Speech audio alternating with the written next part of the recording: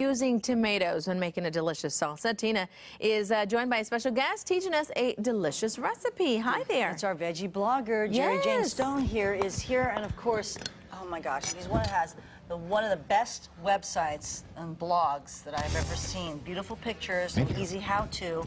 This time you said save our beets. Yes, yes. You know, beets are kind of a polarizing vegetable. Some people love them, some people don't. I love them. I love them. They're super healthy, though. They're high in nitrates, which is really great for your blood. Mm-hmm. And here's a little fun historical fact. Uh, beets actually were considered an aphrodisiac by the Romans. so, you know, they are, they're also high in boron, which kind of produces the human sex hormone. So they're, they're great for you. They're healthy. They're also, you know, they're kind of fun. So we're going to make this beet salsa. We're going to start off with some chopped up tangerines. Okay. Where do you come up with all these recipes? You Just know, I- experimenting? just experimenting. I like to take seasonal ingredients and just kind of throw them together and see what happens. And it does not always work, but um, when it does, it's always great. Okay. so I threw this in with uh, some honey and a little bit of red wine vinegar. Okay. Um, and this is just this is a really spicy salsa and a chunky salsa. It's great for tacos, also dipping. But also, you know, if you do eat meat, which I don't, it's also great on fish. Okay. So you know, lots of things going on You there. have the instructions too on your website of how to what yeah, you- beets, right? Yeah, exactly. So just these are just simply roasted beets. You just throw them in the oven at like you know 425 for about you know 45 minutes. Yeah. Super super simple. Um, you said you like beets, right? I love Okay, so I'll put a little bit more in for you since you like them, and we're gonna throw in some fresh cilantro here, Okay. What is it, who? and just mix Oh, that all together. Cilantro. Cilantro. There we go.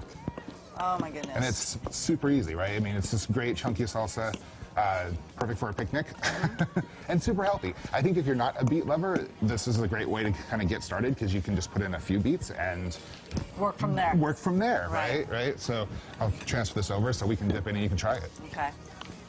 Who have you ever tried it with beets? No, I'm not a big beets person. Really, Mariana? You? Oh, I, I love beets. I love beets. Oh yeah. I, I discovered beets late in life. Oh, yeah. yeah, but they're really Great thing about this also beets. too is you know if you have some terrific. left over, it's also you can just toss in with some uh, salad greens and it makes a good salad. So it's Mm. very versatile. Yeah. Yummy. There If you go. wanna Easy to give- do, huh? Easy to do, yeah. What's the, the longest period is, is roasting the beets? Is roasting the beets, yeah, and just kind of let them cool a little bit. You want them to cool before you toss it and make a salsa because Right. it's going to cook everything else if they're hot. Look at that. Isn't that pretty?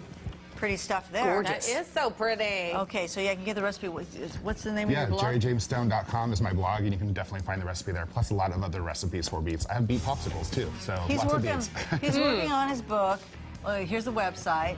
There you go. Yeah. Pretty, pretty, pretty, pretty. Very nice. So he's working on his book, and hopefully you'll get that done, huh? Yes, You partnered yeah. up with a coffee company in the Bay Area. Yeah, Philz Coffee. We're doing a cooking with coffee cookbook. Wow! I can't uh-huh. wait. I So cannot I'm wait. wired. Experimenting, trying, and no, Right. try again. Thank you so much for Yeah, being thanks for here. me. There you go. awesome. Thanks, T. Mm-hmm. All right.